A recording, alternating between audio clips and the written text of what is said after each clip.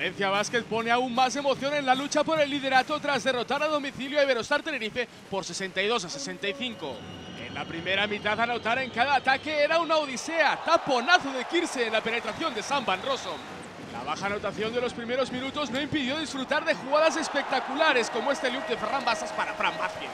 Tras anotar solo seis puntos en el primer periodo, los Taronja empezaron a carburar con los triples de Bojan Dublevic. El montenegrino fue el mejor del partido con 25 de valoración.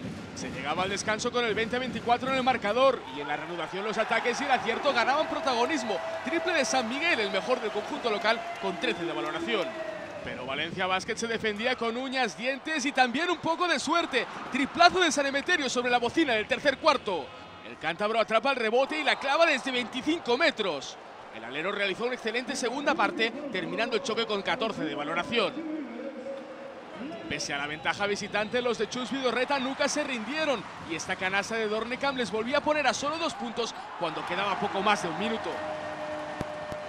Recuperar la posesión, el balón llegaba a manos de Tariq Kirsey que encaraba canasta, pero la jugada quedó invalidada por fuera de banda en una acción muy protestada por los insulares.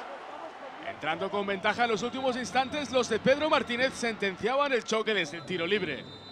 Tras una canasta de San Miguel, los Taroncha perdían el balón a falta de dos décimas. Los aurinegros intentaron la canasta imposible, pero no hubo tiempo suficiente. Con este triunfo, Valencia Basket se queda una sola victoria del líder Iberostar Tenerife, al que le ha ganado los dos partidos en la liga regular.